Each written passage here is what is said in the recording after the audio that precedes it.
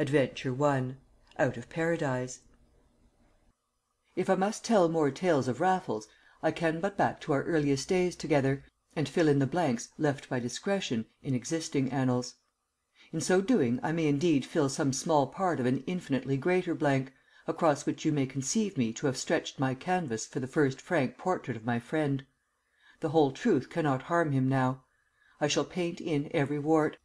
Raffles was a villain, when all is written; it is no service to his memory to glaze the fact. Yet I have done so myself before to day. I have omitted whole heinous episodes; I have dwelt unduly on the redeeming side; and this I may do again, blinded even as I write by the gallant glamour that made my villain more to me than any hero.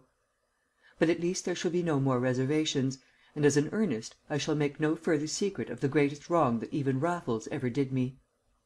I pick my words with care and pain, loyal as I still would be to my friend, and yet remembering as I must those Ides of March when he led me blindfold into temptation and crime. That was an ugly office, if you will. It was a moral bagatelle to the treacherous trick he was to play me a few weeks later. The second offence, on the other hand, was to prove the less serious of the two against society, and might in itself have been published to the world years ago. There have been private reasons for my reticence. The affair was not only too intimately mine and too discreditable to Raffles. One other was involved in it, one dearer to me than Raffles himself, one whose name shall not even now be sullied by association with ours. Suffice it that I had been engaged to her before that mad March deed. True, her people called it "an understanding," and frowned even upon that, as well they might; but their authority was not direct; we bowed to it as an act of politic grace. Between us all was well but my unworthiness. That may be gauged when I confess that this was how the matter stood on the night I gave a worthless cheque for my losses at baccarat, and afterward turned to Raffles in my need. Even after that I saw her sometimes; but I let her guess that there was more upon my soul than she must ever share, and at last I had written to end it all. I remember that week so well. It was the close of such a May as we had never had since, and I was too miserable even to follow the heavy scoring in the papers. Raffles was the only man who could get a wicket up at Lord's, and I never once went to see him play. Against Yorkshire, however, he helped himself to a hundred runs as well, and that brought Raffles round to me, on his way home to the Albany. "We must dine and celebrate the rare event," said he. "A century takes it out of one at my time of life; and you, Bunny, you look quite as much in need of your end of a worthy bottle. Suppose we make it at the Café Royal, and eight sharp. I'll be there first to fix up the table and the wine." And at the Café Royal I incontinently told him of the trouble I was in. It was the first he had ever heard of my affair, and I told him all, though not before our bottle had been succeeded by a pint of the same exemplary brand. Raffles heard me out with grave attention; his sympathy was the more grateful for the tactful brevity with which it was indicated rather than expressed. He only wished that I had told him of this complication in the beginning; as I had not, he agreed with me that the only course was a candid and complete renunciation. It was not as though my divinity had a penny of her own, or I could earn an honest one. I had explained to Raffles that she was an orphan, who spent most of her time with an aristocratic aunt in the country, and the remainder under the repressive roof of a pompous politician in Palace Gardens. The aunt had, I believed, still a sneaking softness for me, but her illustrious brother had set his face against me from the first. "Hector Carruthers!" murmured Raffles, repeating the detested name with his clear, cold eye on mine. "I suppose you haven't seen much of him?" "Not a thing for ages," I replied. "I was at the house two or three days last year, but they've neither asked me since nor been at home to me when I've called. The old beast seems a judge of men," and I laughed bitterly in my glass. "Nice house?" said Raffles, glancing at himself in his silver cigarette case. "Top shelf," said I. "You know the houses in Palace Gardens, don't you?" "Not so well as I should like to know them, Bunny." "Well, it's about the most palatial of the lot. The old ruffian is as rich as Croesus. It's a country place in town." "What about the window fastenings?" asked Raffles casually. I recoiled from the open cigarette case that he proffered as he spoke. Our eyes met, and in his there was that starry twinkle of mirth and mischief, that sunny beam of audacious devilment, which had been my undoing two months before, which was to undo me as often as he chose until the chapter's end. Yet for once I withstood its glamour; for once I turned aside that luminous glance with front of steel. There was no need for Raffles to voice his plans. I read them all between the strong lines of his smiling, eager face; and I pushed back my chair in the equal eagerness of my own resolve. "Not if I know it," said I. "A house I've dined in a house I've seen her in in a house where she stays by the month together don't put it into words, Raffles, or I'll get up and go." "Ah, you mustn't do that before the coffee and liqueur," said Raffles, laughing. "Have a small Sullivan first; it's the royal road to a cigar. And now let me observe that your scruples would do you honour if old Carruthers still lived in the house in question." "Do you mean to say he doesn't?" Raffles struck a match, and handed it first to me. "I mean to say, my dear Bunny, that Palace Gardens knows the very name no more. You began by telling me you had heard nothing of these people all this year. That's quite enough to account for our little misunderstanding. I was thinking of the house, and you were thinking of the people in the house." "But who are they, Raffles? Who has taken the house, if old Carruthers has moved? And how do you know that it is still worth a visit?" "In answer to your first question, Lord Lochmaben," replied Raffles, blowing bracelets of smoke toward the ceiling.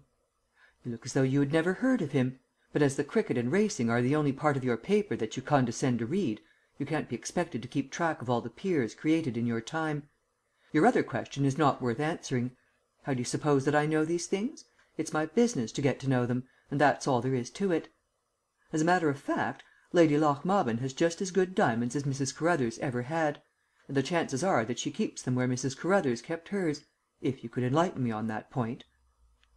As it happened, I could, since I knew from his niece that it was one on which Mr. Carruthers had been a faddist in his time. He had made quite a study of the cracksman's craft, in a resolve to circumvent it with his own. I remembered myself how the ground floor windows were elaborately bolted and shuttered, and how the doors of all the rooms opening upon the square inner hall were fitted with extra Yale locks, at an unlikely height, not to be discovered by one within the room. It had been the butler's business to turn and to collect all these keys before retiring for the night; but the key of the safe in the study was supposed to be in the jealous keeping of the master of the house himself. That safe was in its turn so ingeniously hidden that I never should have found it for myself. I well remember how one who showed it to me in the innocence of her heart laughed as she assured me that even her little trinkets were solemnly locked up in it every night. It had been let into the wall behind one end of the bookcase, expressly to preserve the barbaric splendour of Mrs. Carruthers.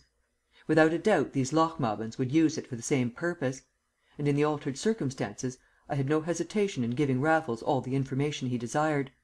I even drew him a rough plan of the ground floor on the back of my menu card. "It was rather clever of you to notice the kind of locks on the inner doors," he remarked as he put it in his pocket. "I suppose you don't remember if it was a Yale on the front door as well?" "It was not," I was able to answer quite promptly.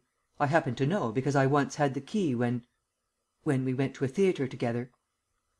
"Thank you, old chap," said Raffles sympathetically. "That's all I shall want from you, Bunny, my boy. There's no night like to night." It was one of his sayings when bent upon his worst. I looked at him aghast. Our cigars were just in blast, yet already he was signalling for his bill. It was impossible to remonstrate with him until we were both outside in the street. "I'm coming with you," said I, running my arm through his. "Nonsense, Bunny!" "Why is it nonsense? I know every inch of the ground, and since the house has changed hands I have no compunction. Besides, I have been there in the other sense as well. Once a thief, you know. In for a penny, in for a pound." It was ever my mood when the blood was up; but my old friend failed to appreciate the characteristic as he usually did. We crossed Regent Street in silence. I had to catch his sleeve to keep a hand in his inhospitable arm. "I really think you had better stay away," said Raffles, as we reached the other kerb. "I've no use for you this time." "Yet I thought I had been so useful up to now." "That may be, Bunny, but I tell you frankly I don't want you to night." "Yet I know the ground, and you don't." "I tell you what," said I, "I'll come just to show you the ropes, and I won't take a pennyweight of the swag." Such was the teasing fashion in which he invariably prevailed upon me. It was delightful to note how it caused him to yield in his turn. But Raffles had the grace to give in with a laugh, whereas I too often lost my temper with my point. "You little rabbit!" he chuckled. "You shall have your share, whether you come or not. But seriously, don't you think you might remember the girl?" "What's the use?" I groaned. "You agree there is nothing for it but to give her up. I'm glad to say that for myself before I asked you, and wrote to tell her so on Sunday. Now it's Wednesday, and she hasn't answered by line or sign.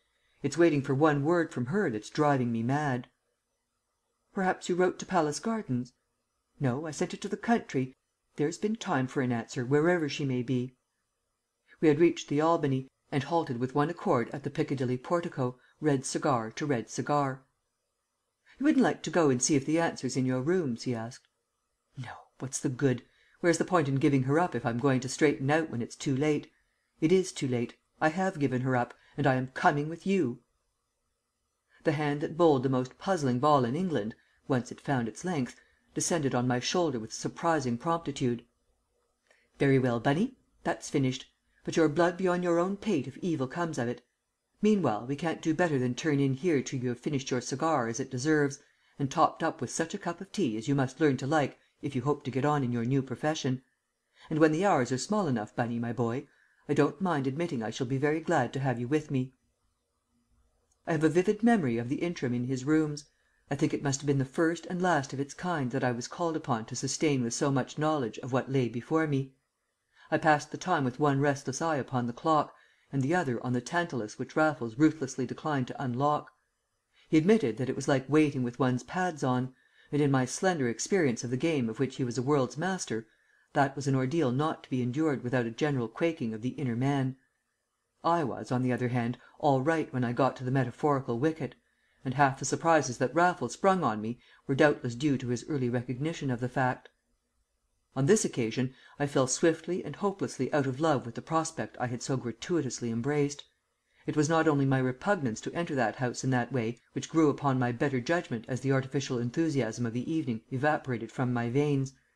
Strong as that repugnance became, I had an even stronger feeling that we were embarking on an important enterprise far too much upon the spur of the moment. The latter qualm I had the temerity to confess to Raffles. Nor have I often loved him more than when he freely admitted it to be the most natural feeling in the world. He assured me, however, that he had had my Lady Lochmaben and her jewels in his mind for several months; he had sat behind them at first nights, and long ago determined what to take or to reject. In fine, he had only been waiting for those topographical details which it had been my chance privilege to supply. I now learned that he had numerous houses in a similar state upon his list; something or other was wanting in each case in order to complete his plans. In that of the Bond Street jeweller it was a trusty accomplice; in the present instance, a more intimate knowledge of the house. And lastly, this was a Wednesday night, when the tired legislator gets early to his bed. How I wish I could make the whole world see and hear him, and smell the smoke of his beloved Sullivan, as he took me into these, the secrets of his infamous trade! Neither look nor language would betray the infamy. As a mere talker, I shall never listen to the like of Raffles on this side of the sod and his talk was seldom garnished by an oath, never in my remembrance by the unclean word. Then he looked like a man who had dressed to dine out, not like one who had long since dined; for his curly hair, though longer than another's, was never untidy in its length, and these were the days when it was still as black as ink. Nor were there many lines as yet upon the smooth and mobile face, and its frame was still that dear den of disorder and good taste, with the carved bookcase, the dresser, and chests of still older oak and the Wattses and Rossettis hung anyhow on the walls. It must have been one o'clock before we drove in a hansom as far as Kensington Church, instead of getting down at the gates of our private road to ruin. Constitutionally shy of the direct approach, Raffles was further deterred by a ball in full swing at the Empress Rooms, whence potential witnesses were pouring between dances into the cool deserted street. Instead, he led me a little way up Church Street, and so through the narrow passage into Palace Gardens. He knew the house as well as I did; we made our first survey from the other side of the road. And the house was not quite in darkness; there was a dim light over the door, a brighter one in the stables, which stood still farther back from the road. "That's a bit of a bore," said Raffles. "The ladies have been out somewhere. Trust them to spoil the show! They would get to bed before the stable folk, but insomnia is the curse of their sex and our profession. Somebody's not home yet; that will be the son of the house. But he's a beauty, and may not come home at all." "Another Alec Carruthers," I murmured, recalling the one I liked least of all the household, as I remembered it. "They might be brothers," rejoined Raffles, who knew all the loose fish about town. "Well, I'm not sure that I shall want you after all, Bunny." "Why not?" "If the front door's only on the latch, and you're right about the lock, I shall walk in as though I were the son of the house myself." And he jingled the skeleton bunch that he carried on a chain as honest men carry their latch keys. "You forget the inner doors and the safe." "True, you might be useful to me there. But I still don't like leading you in where it isn't absolutely necessary, Bunny." "Then let me lead you," I answered, and forthwith marched across the broad, secluded road, with the great houses standing back on either side in their ample gardens, as though the one opposite belonged to me. I thought Raffles had stayed behind, for I never heard him at my heels, yet there he was when I turned round at the gate. "I must teach you the step," he whispered, shaking his head. "You shouldn't use your heel at all. Here's a grass border for you; walk it as you would the plank. Gravel makes a noise, and flower beds tell a tale. Wait, I must carry you across this." It was the sweep of the drive, and in the dim light from above the door the soft gravel, ploughed into ridges by the night's wheels, threatened an alarm at every step. Yet Raffles, with me in his arms, crossed the zone of peril softly as the pard. "Shoes in your pockets that's the beauty of pumps," he whispered on the step. His light bunch tinkled faintly. A couple of keys he stooped and tried, with the touch of a humane dentist; the third let us into the porch. And as we stood together on the mat, as he was gradually closing the door, a clock within chimed a half hour in fashion so thrillingly familiar to me that I caught Raffles by the arm. My half hours of happiness had flown to just such chimes. I looked wildly about me in the dim light. Hat stand and oak settee belonged equally to my past; and Raffles was smiling in my face as he held the door wide for my escape. "You told me a lie!" I gasped in whispers. "I did nothing of the sort," he replied.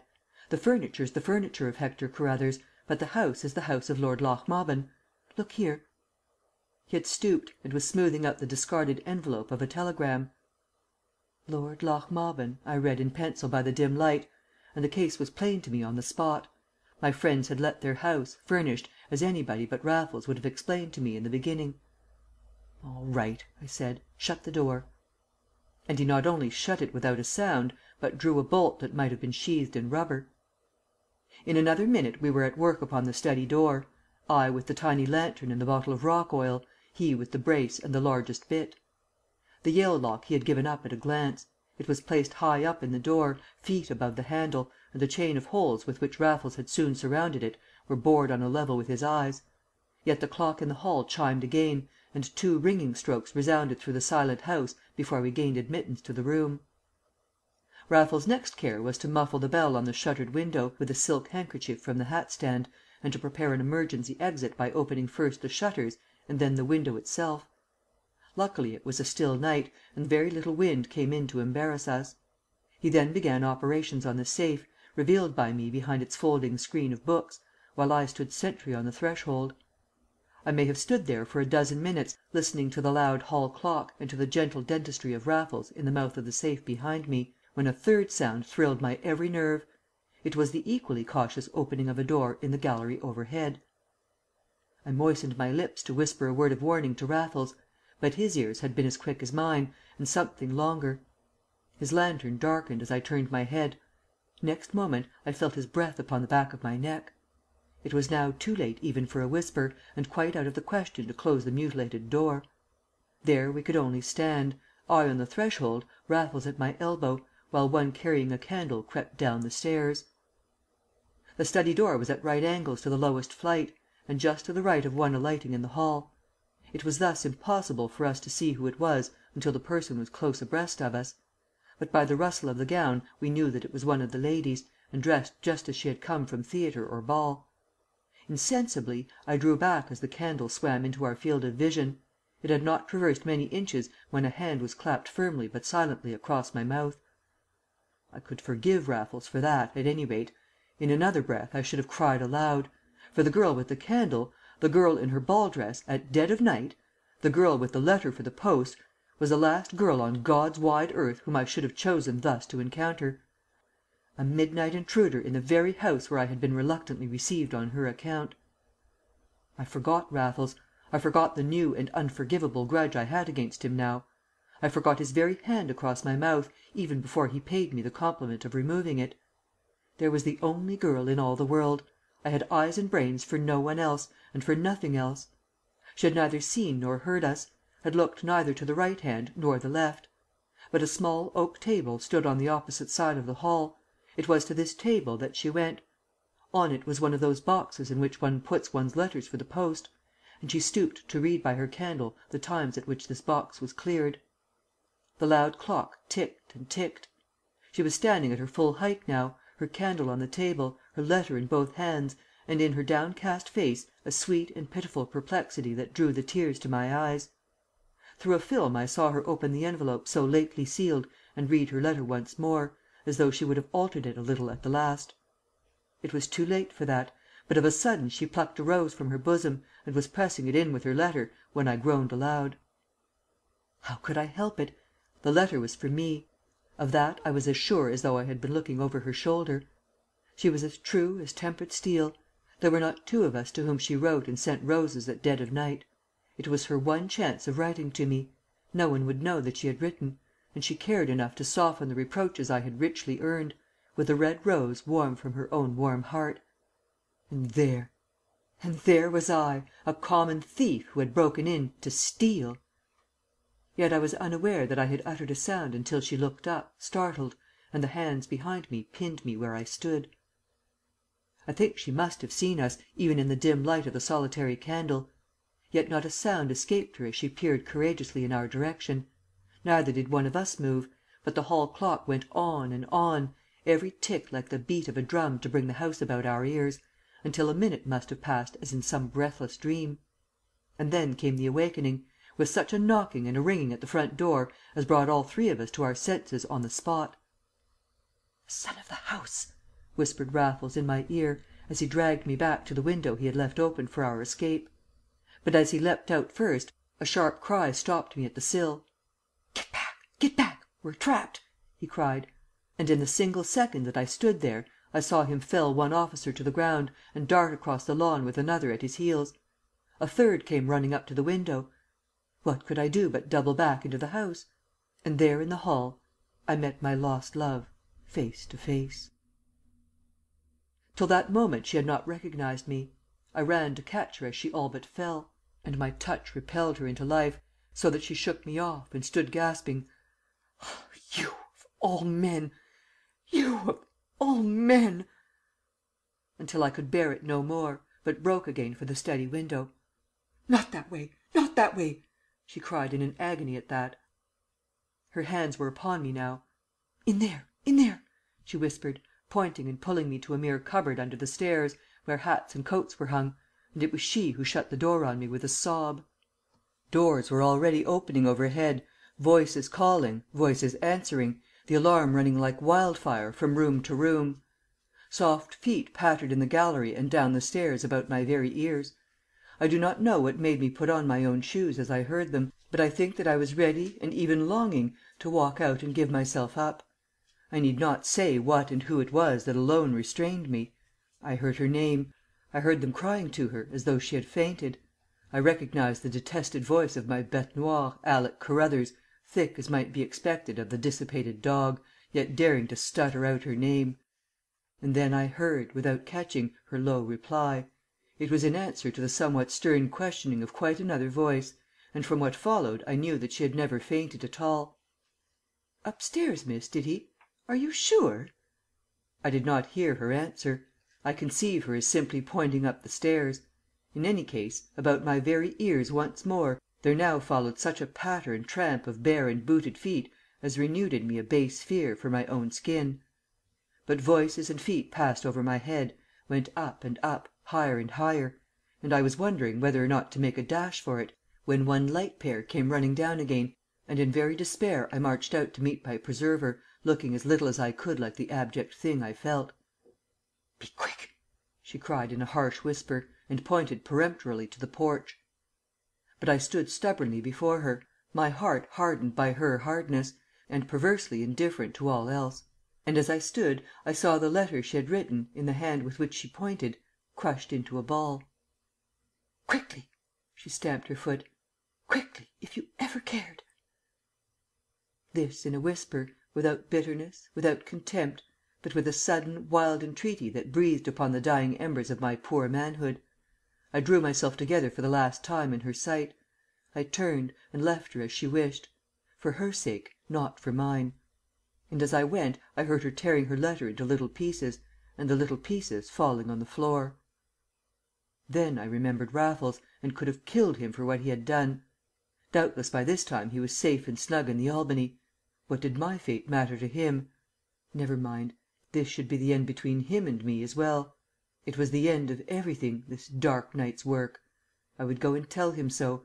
I would jump into a cab and drive there and then to his accursed rooms. But first I must escape from the trap in which he had been so ready to leave me; and on the very steps I drew back in despair. They were searching the shrubberies between the drive and the road; a policeman's lantern kept flashing in and out among the laurels, while a young man in evening clothes directed him from the gravel sweep. It was this young man whom I must dodge, but at my first step in the gravel he wheeled round, and it was Raffles himself. "Hallo!" he cried. "So you've come up to join the dance as well? Had a look inside, have you? You'll be better employed in helping to draw the cover in front here. It's all right, officer; only another gentleman from the Empress Rooms." And we made a brave show of assisting in the futile search, until the arrival of more police, and a broad hint from an irritable sergeant gave us an excellent excuse for going off arm in arm. But it was Raffles who had thrust his arm through mine. I shook him off as we left the scene of shame behind. "My dear Bunny!" he exclaimed. "Do you know what brought me back?" I answered savagely that I neither knew nor cared. "I had the very devil of a squeak for it," he went on. "I did the hurdles over two or three garden walls, but so did the flyer who was on my tracks, and he drove me back into the straight and down to the High Street like any lamplighter. If he had only had the breath to sing out it would have been all up with me then. As it was I pulled off my coat the moment I was round the corner, and took a ticket for it at the Empress Rooms."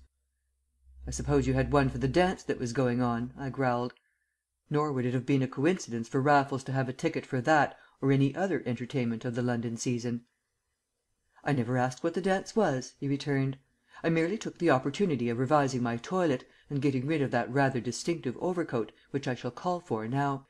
They're not too particular at such stages of such proceedings, but I've no doubt I should have seen some one I knew if I had none right in. I might even have had a turn, if only I had been less uneasy about you, Bunny."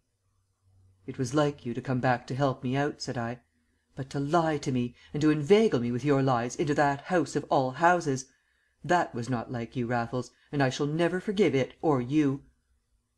Raffles took my arm again. We were near the High Street gates of Palace Gardens, and I was too miserable to resist an advance which I meant never to give him an opportunity to repeat. "Come, come, Bunny, there wasn't much inveigling about it," said he.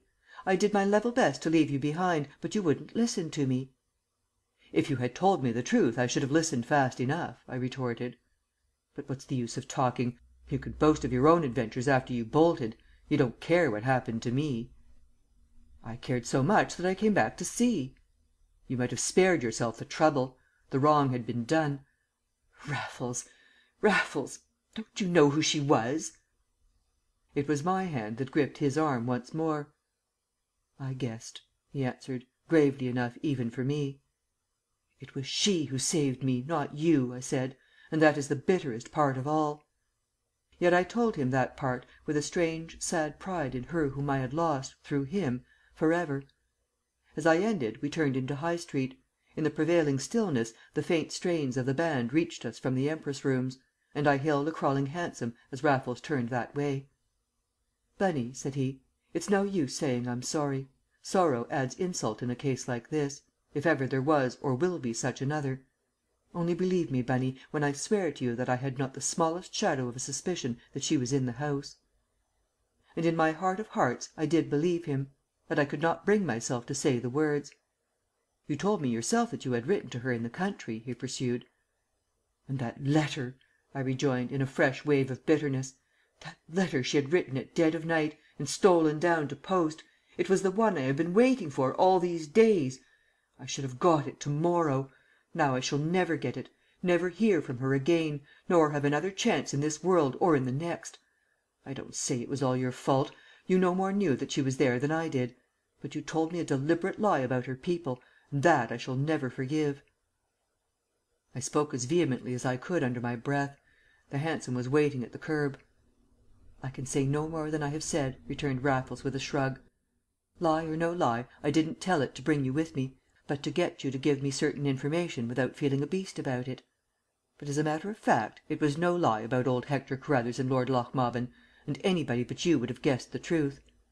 "What is the truth?" "I as good as told you, Bunny, again and again." "Then tell me now." "If you read your paper, there would be no need. But if you want to know, old Carruthers headed the list of the birthday honours, and Lord Lochmaben is the title of his choice." And this miserable quibble was not a lie. My lip curled, I turned my back without a word, and drove home to my Mount Street flat in a new fury of savage scorn. Not a lie, indeed! It was the one that is half a truth, the meanest lie of all, and the very last to which I could have dreamt that Raffles would stoop. So far there had been a degree of honour between us, if only of the kind understood to obtain between thief and thief. Now all that was at an end. Raffles had cheated me. Raffles had completed the ruin of my life. I was done with Raffles, as she who shall not be named was done with me. And yet, even while I blamed him most bitterly, and utterly abominated his deceitful deed, I could not but admit in my heart that the result was put of all proportion to the intent. He had never dreamt of doing me this injury, or indeed any injury at all. Intrinsically the deceit had been quite venial, the reason for it obviously the reason that Raffles had given me. It was quite true that he had spoken of this Lochmaben peerage as a new creation, and of the heir to it in a fashion only applicable to Alec Carruthers. He had given me hints which I had been too dense to take, and he had certainly made more than one attempt to deter me from accompanying him on this fatal emprise.